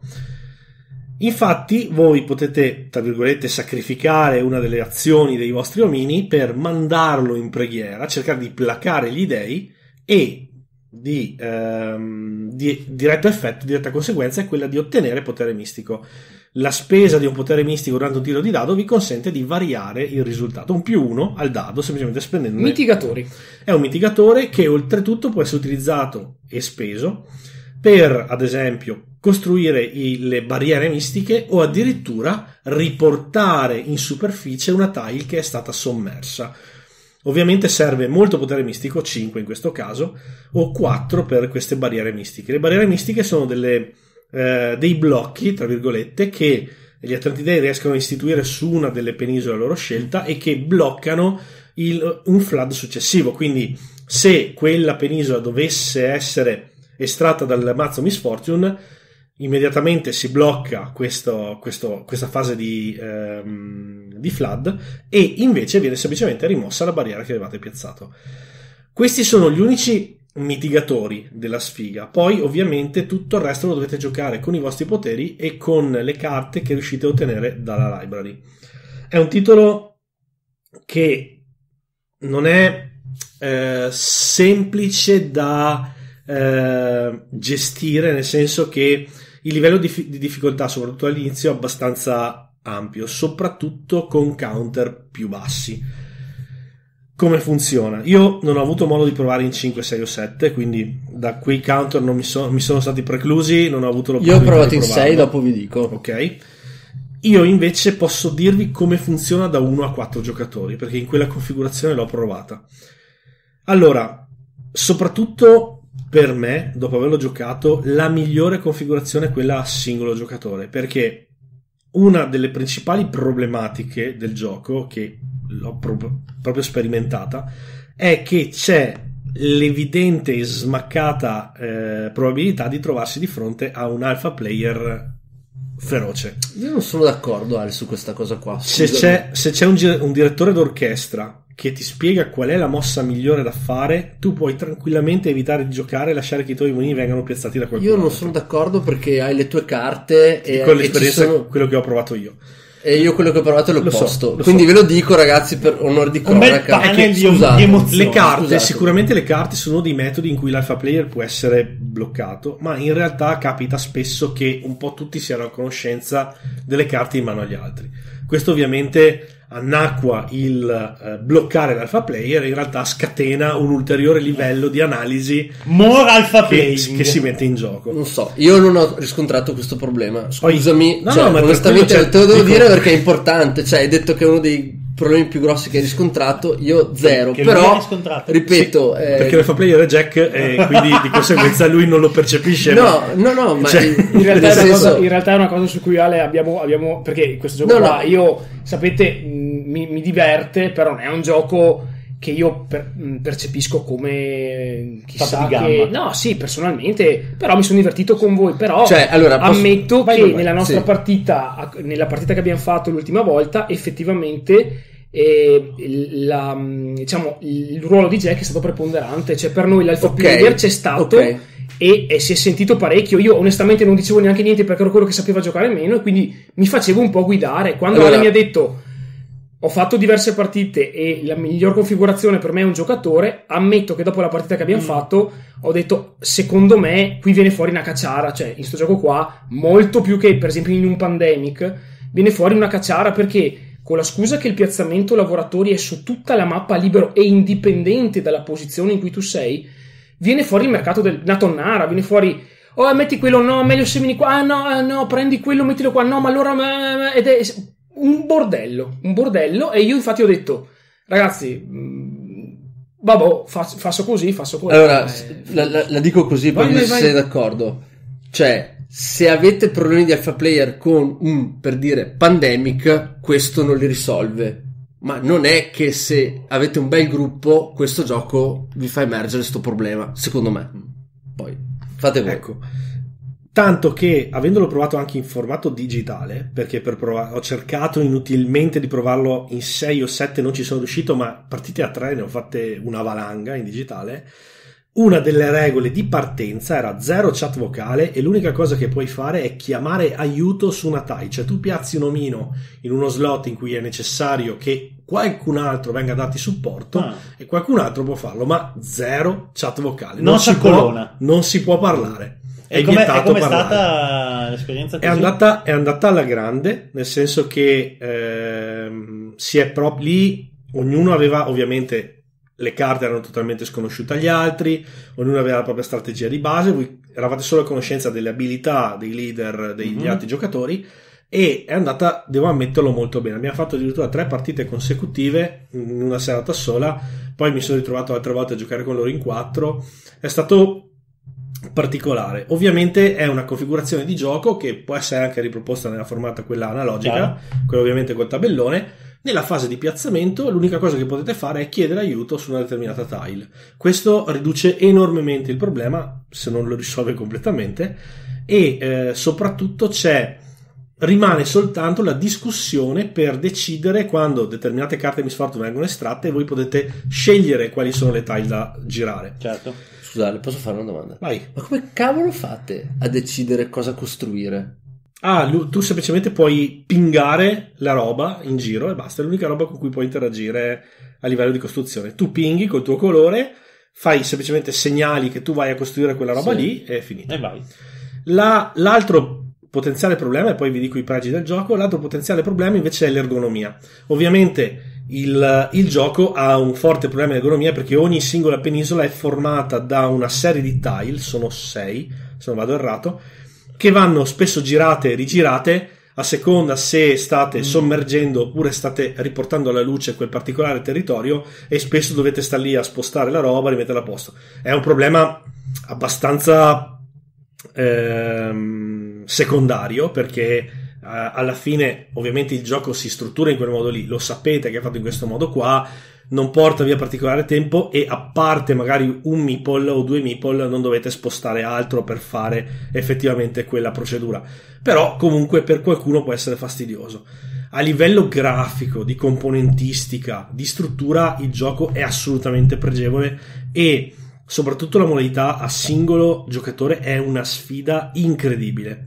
Vi spiego rapidamente come hanno introdotto la modalità a uno e due giocatori. Hanno inserito all'interno di, eh, del gioco base, quello che era la prima versione, due figure. Gli holograms, gli ologrammi e soprattutto eh, l'automaton, che è una specie di, di robottino che vaga per l'isola. Cosa succede? Voi iniziate la partita con un solo champion, parlo della modalità solitaria, un solo champion, scegliete quale utilizzare, dopodiché fate il gioco come normale, cioè avete i vostri eh, 5 meeple, il leader più 4, e poi gli altri 3 eventuali sbloccabili sono posizionati sulla Wrath of the Gods e possono essere prodotti facendo accoppiare appunto due meeple preesistenti. Avete l'accesso agli Atlantidei, quelli mm. bianchi che sono quelli generici che possono essere ottenuti attraverso l'effetto di alcune carte o di alcune, eh, alcune componenti dello Stargate ma soprattutto ogni turno voi pescate due carte ologramma, scegliete e che riportano gli altri leader potenziali del gioco, scegliete quale dei due poter utilizzare e voi avete un meeple ologramma da piazzare e da sfruttare. Infine, l'automaton è questo robottino che va a darvi un contributo in una tile, cioè voi lo piazzate in una zona, quello vi dà automaticamente un più 2 al dado in quella zona. La particolarità è, che per singolo giocatore pescate 4 carte misfortune ogni round mm. e vi assicuro che 4 carte in giocatore singolo grossa. sono tantissime. Vuol dire affondare una media di 4-5 tile a round e sono un'enormità. L'unica diciamo eh, mitigazione l'unico bonus che vi viene concesso è che ogni turno producete in automatico un potere mistico, mentre invece normalmente dovreste andarlo a mm, vabbè, andare a fare pregando, ok? In due giocatori la funzionalità è più o meno la stessa, non c'è l'automaton, pescate comunque 4 carte misfortune, ma avete a disposizione ovviamente eh, 10 meeple da piazzare contro i 5 del giocatore singolo. Già qui capite che la forbice di difficoltà è molto eh, più sì. mitigata. A livello di giocatore singolo ho una percentuale di vittoria che è inferiore al 40%, lo dico onestamente. È veramente molto dura, da, da, fare anche perché appena sbagliate un paio di tiri di dado, eh sì, se non avete accumulato energia mistica è un massacro. Però di conseguenza è anche il bello del dover rischiare per forza per portare a termine appunto la costruzione degli elementi. La seconda roba molto bella è appunto i, la, costituita dai componenti dello Stargate.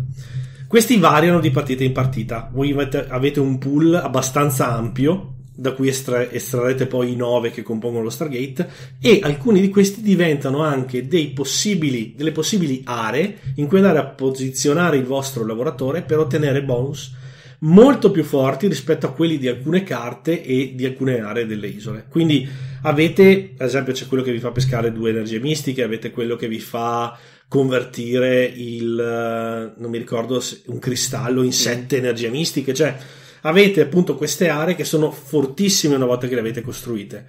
È un gioco molto di calcolo anche perché avete necessità di avere accesso a determinate risorse e dovete ben bilanciare il posizionamento dei vostri lavoratori.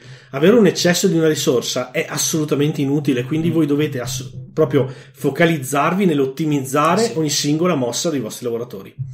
Infine, il principale pregio, secondo me, è la rapidità di gioco unita al, ehm, alla dinamica che si sviluppa al tavolo. Se voi immaginate un popolo in crisi a causa di questo cataclisma, voi vi troverete a all'inizio a cercare di forzare alcune risorse posizionandovi magari anche nelle tile più esterne delle penisole poi comincerete, comincerete a ragionare in modo un po' più conservativo, cercando di posizionarvi più o meno in, nelle zone centrali, comincerete a venire sommersi dalle acque e verso la fine l'unico modo per sopravvivere sarà raccogliervi al centro dell'isola in preghiera, sperando di avere tempo sufficiente per poter completare le ultime cose che vi mancano. A livello puramente tematico, questa è la cosa che mi ha sconvolto di più.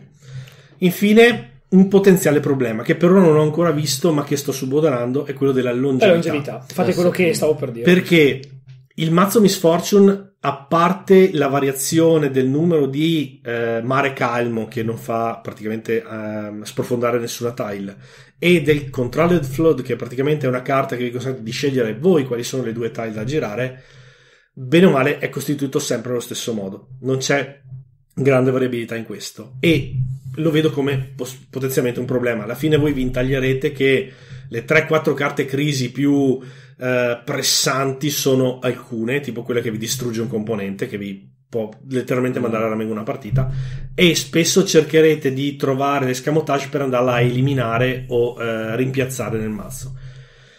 Inoltre, a parte il, eh, il proseguimento dei livelli di difficoltà, ehm, e appunto la componentistica che andate a creare, eh, scusatemi, i componenti che andate a costruire, non lo so, il- la mia paura è che sia un ottimo gioco per introdurre una meccanica, ma che non possa essere intavolato con grande costanza. Dovete far passare un po' di tempo fra una partita e l'altra, perché eh, altrimenti diventa un po' troppo simile a se stesso nello sviluppo. Ma una volta che l'hai finito a livello 5, lo Eh, rigiocheresti ancora? Oppure lo metti dipende, sì. allora, Al- difficilmente lo rigiocheresti a livelli inferiori, lo rigiochi sempre a livello Certo. 5, 4, Però 5. dipende, perché se tu, per esempio, hai questo qua è un ottimo gioco, verissimo tutto quello che avete detto, sono, d'accordo, sono d'accordissimo. Però se, se magari avete un gruppo di eh, neofiti e siete in tanti, tanti, Sì, questa è una tanti dico soluzione. 5-6, Sì. questo è un super gioco da tirar fuori perché comunque al di là ok, del potenziale mh, pericolo, pericolo fa player che comunque vabbè, quasi tutti i collaborativi hanno eccetera però è un gioco che in 5-6 fa divertire subito tutti coinvolge tutti è Per rapido si impara rapido. in un attimo e tutti hanno comunque la possibilità di contribuire e ti senti veramente parte di un bel team. Sì. ed è il discorso che io nella partita di Essen a 6 fatta con tutti sconosciuti è stato super figo. È stata una delle più belle esperienze fatte a Essen quest'anno. Infatti per... è, è stato in 6 con tutti che dicevano la loro, sì, un po' di confusione, è vero, c'era, c'era anche quel problema lì, però di fatto comunque era sempre, c'era un, eh, era, clima. era un, bel, un bel clima. E tra l'altro era un clima che era completamente, eh, come dire, una specie di caos controllato, poi abbiamo fatto anche casino e certe cose le abbiamo sbagliate, però non mi ricordo giochi collaborativi da 6 o 5 in cui ci si diverte più o meno tutti. Lo spieghi in avanti. 5 minuti. E poi ovviamente il discorso che il tabellone è la rappresentazione fisica di quello che Esatto. succede nella storia, e nel gioco, è anche una cosa che quando c'è qualcuno di nuovo ehm, è una cosa che coinvolge subito perché tu vedi proprio fisicamente l'isola che scompare di- sotto le acque. E per questo lo trovo un gioco, per esempio, ideale per convention o eh, posti che cercano di attirare nuovi, ehm, Beh, diciamo nuovi giocatori. cooperativi da questo numero di giocatori non ce ne sono tanti e soprattutto non che si possono condensare in 60-75 minuti di partita. Proprio penso non ne esistano a questo livello qua. Sicuramente per giocatori più scaffati potrebbe andare rapidamente a noia, ma da presentare a casual player, a neofiti, oppure per appunto introdurre una meccanica è un titolo pazzesco. Io l'ho già provato con eh, il gruppo di gioco, quello formato da mia moglie Certo. e altra gente, e effettivamente anche, anche loro si sono trovati alla grande. Ecco, eh, il costo non lo so perché me l'avete regalato, non me lo so. No, allora, vedere. vabbè, eh, possiamo Quindi dire che eh, dunque mi, mi baso un po' sul, Sul, sul, eh, mar- sul Market. BGG Market che dà un po' dei. Ci dei- sarebbe anche da chiedersi se l'edizione deluxe cambi molto rispetto all'edizione retail normale. No, In eh, realtà- no, non c'è l'edizione in realtà- deluxe. Cioè, se tu non compri tutti i componenti aggiuntivi, Allora, eh, se e non se compri- matericamente giochi col base, se ti cambia tanto l'esperienza di gioco rispetto realtà al sì. Allora, Ale- cioè, quel playmat No, è Eh, vero, il è, playmat ti è cambia. sì. veramente una roba Vabbè, il playmat- irrinunciabile. il a, li- Cioè, sì. a livello di risorse no, a livello di risorse bene o male riesci a Sì. gestirlo stesso Eh, I dadi però- sono un po' scarsetti quelli base, però sono dadi. Però il playmat ti cambia molto intanto, ti facilita la costruzione Eh, sì. dell'isola perché ti dà più o meno un'indicazione di quali sono le aree dove Eh, fare eh le sì, varie un isole. conto è costruire l'isola su un tavolo Sì. in legno, un conto è E farla. cioè, poi proprio a livello di tavolo eh, ti riempie gli occhi. Cioè, Però ecco, la, la cosa interessante è che qui hanno scelto di dire, ok, allora, gioco base, full, tappati le orecchie, Eh, Vabbè. comunque, vabbè, diciamo un costo da mm, attorno ai 50-60 euro, ok? E, e per dopo, c'è dentro onestissimo. pacchetto risorse, questa cifra qua, e playmat, quest'altra cifra qua. Fate voi, vedete voi, giocatelo, eh, comprate il playmat, provatelo col Sì, sì. playmat. poi- Accessori a parte. accessori a sì. parte e decidete voi quanto e come comprare le cose extra. E per un Kickstarter è una cosa abbastanza, abbastanza curiosa. ehm, Le esclusive, tra l'altro, sono molto poche, sono qualche carta, non c'è granché Sì, sì. esclusiva. Ah, e poi tra l'altro i personaggi da scegliere sono tantissimi, quindi anche qui, ecco, una cosa che combatte un po' il discorso longevità è il fatto magari di provare Dei diversi. diversi, Allora, sì. tipo all'inizio proviamo con la squadra fortissima, con tutti i player rotti, oppure facciamo a random, Mm. oppure facciamo il draft. Eh, I personaggi sono talmente tanti che si può fare questa cosa. La qua. partita che abbiamo vinto meglio è stata quella con i personaggi random, tra l'altro, stranamente ci Beh, siamo trovati sì. una combinazione No, alcuni, fortissima ah, senza alcuni sono veramente volere. intenibili, altri sono veramente situazionali. No, beh, Sì. ci sono dei, dei personaggi fighissimi che soprattutto a un certo punto partono delle combo incredibili sì, sì. e quindi vi danno un- veramente dei boost pazzeschi. Ehm, per esempio c'è oppure c'è un personaggio tipo quello che usavi tu Banda No, il che mio all'inizio praticamente lo- partita prendevi un Sì, artefatto e io usavo quell'artefatto. E l'abbiamo- un artefatto random e uno dice, beh vabbè magari ti capita, perché sono tanti artefatti, Eh, ti sì, capita sì, l'artefatto sì, 12. figo, sgrauso, mi è capitato un artefatto che all'inizio abbiamo detto, ma mm, baba, e invece si è rivelato che per due terzi di partita è stato il, L'abbiamo- il perno, attorno a cui... Quello che convertiva un metallo, convertiva un metallo in un'altra risorsa. sembrava una cavolata invece l'abbiamo sfruttato in maniera veramente pesante tra l'altro altra cosa Pesante. che altra cosa pesante. che mi piace un botto e poi veramente chiudo è il fatto che quando tu costruisci gli, le- gli artefatti questi diventano spaziazione Sì. perché il gioco parte con tutti che vanno a minare l'oro e le, le risorse ma poi tutti sono a pregare e quei pochi che non sono a pregare sono a sfruttare le spaziazioni che avete costruito nei turni prima. Quindi anche gli spaziazione evolvono durante tutta la partita. E questa è un'idea che trovo veramente interessante al di là del fatto con pregi difetti su Atlantic Rising ma è una cosa che eh, mi pare forse poco sfruttata nei, nei piazzamenti lavoratori che sono sempre comunque in cerca di nuovi Il spunti cambio attivo della plancia durante il Eh, gioco, sì. secondo me, Sì. è, il- è uno dei punti di forza di questo titolo, sicuramente. molto semplice Sì. però anche qua funziona perché effettivamente tu ti trovi a, a sbloccare proprio degli spaziazioni che poi inizi a sfruttare lasciando un po' al mare anche qui il fatto di dover fare sempre 6 col dado è sempre molto mitigato dal fatto di avere magari degli, degli artefatti che ti permettono di evitare di dover di tirare evitare, ogni volta sì. il dado per fare 6 Esatto.